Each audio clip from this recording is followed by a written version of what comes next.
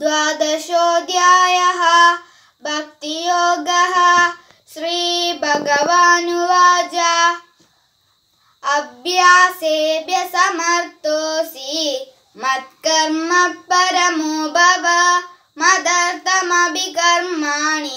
कुर्वन् सिद्धिमवाप्स्यसि। अद्वैतदप्यशक्तोऽसि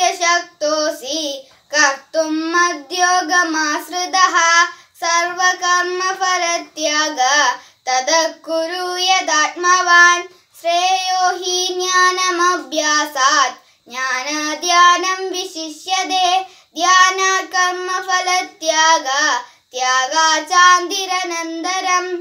अद्विष्टा सर्वभूतानां मैत्रकरुण एव च निर्ममो निरहङ्कार समदुःखः सुगच्छमि सन्तुष्टा सततं योगी यदात्मा दृढनिश्चयः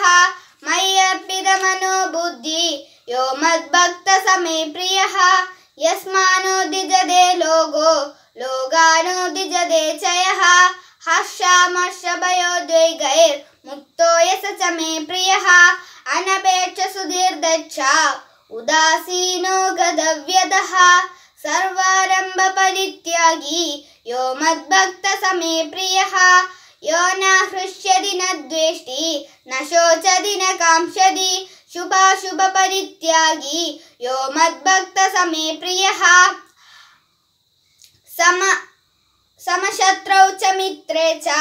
तदा तदा मानापमानयोः। शीतोष्णसुखदुःखेषु समसङ्गविवर्जितः തുല്യനിന്ദ സ്തുതിർമൗനി സന്തുഷ്ട സന്തുഷ്ട ഏന കേനജിത് അനികേതാസ്ഥിതം മതിഹിർ. ഭക്തിമാൻ മേ പ്രിയോ നരഹ.